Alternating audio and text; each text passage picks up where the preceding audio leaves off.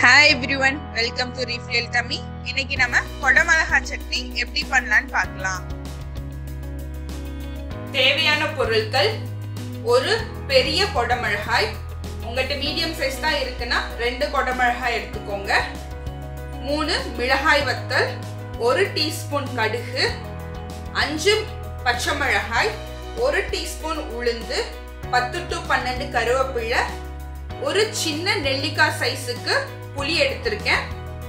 தேவையான அளவு உப்பு தேவையான அளவு எண்ணெய்.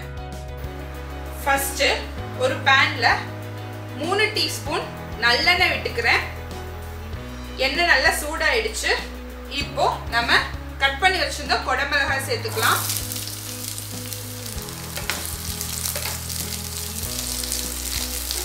நல்லா வதக்கிக்கோங்க. அந்த பச்சை வாடை போகிற வரைக்கும் குடமிளகாவை நம்ம வதக்கிக்கணும். நான் கொடமிளகா உள்ள இருக்கிற சீட்ஸ் எல்லாம் ரிமூவ் பண்ணிட்டேன். உங்களுக்கு ஸ்பைசியா வேணும்னா அந்த சீட்ஸையும் சேர்த்துக்கலாம். இதோட நம்ம எடுத்து வச்சிருந்த பச்சை மிளகாவை சேர்த்துக்கலாம். இப்போ தேவையான அளவு உப்பு சேர்த்துக்கலாம்.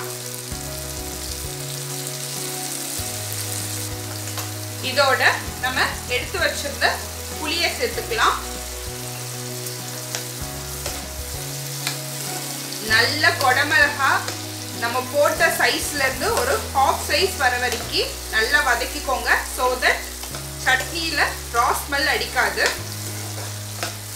இதோட நீங்க ஒரு கால் முடி தேங்காய் கூட சேர்த்துக்கலாம். அது ஆப்ஷனல் தான். பட் நான் இன்னைக்கு சேர்த்துக்கல.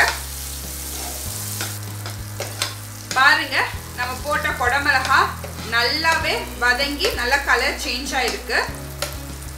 உங்களுக்கு வதங் நல்லா வதங்கிருச்சான்னு செக் பண்ண. நீங்க குடமிளகாவை இப்படி கரண்டியை வச்சு கட் பண்ணாலே பாதியா கட் ஆயிடும். அப்பனா அது நல்லா வதங்கிருச்சுன்னு அர்த்தம்.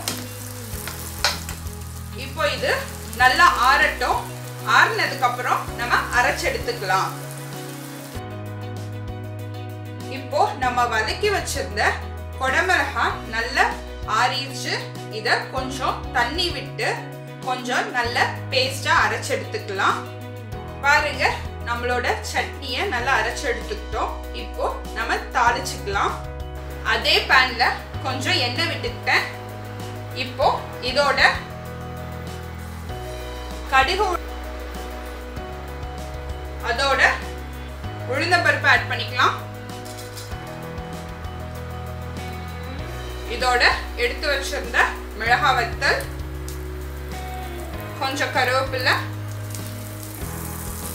இதோட நம்ம அரைச்சு வச்சிருந்த சட்னியை சேர்த்துக்கலாம். ஒரு வதக்கு வதக்கிட்டு இறக்கிக்கலாம். இப்போ நம்மளுக்கு சுவையான கொடமிளகா சட்னி ரெடி நீங்களும் வீட்டில் ட்ரை பண்ணி பாருங்கள் இன்னைக்கு பண்ண கொடமிளகா சட்னி உங்கள் எல்லாருக்கும் பிடிச்சிருக்க நம்புகிறேன் இதை நீங்கள் தோசை இட்லியோட வச்சு சாப்பிட்டா ரொம்ப நல்லா இருக்கும். ரொம்ப டிஃப்ரெண்ட்டான சட்னி. நீங்களும் ட்ரை பண்ணி பாருங்கள்